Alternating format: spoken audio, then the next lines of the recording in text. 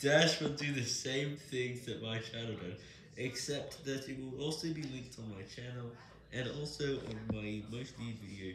the fastest growing video, and the third most viewed video as well, so that it can get the most views.